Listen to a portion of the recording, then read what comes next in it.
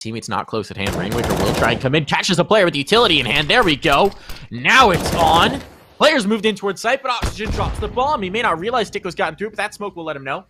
And now Rainwaker knows as well. STYKO, they pass each other like ships in the night. He's going to come back through. Should get this kill for free. Always looking for more. Playing the trigger discipline. Ooh. Rainwaker has no idea, so he's going to be able to clear out the pit player, but no, Rainwaker turns, still doesn't matter.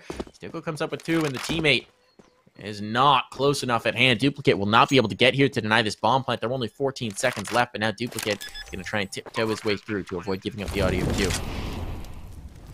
STYKO, I think he even may have heard him, or just expect that the player would come around from Banana. Duplicate clearing in towards the site. Player hasn't gotten away. STYKO just going to have to hit this first shot as he crouches around the pillar.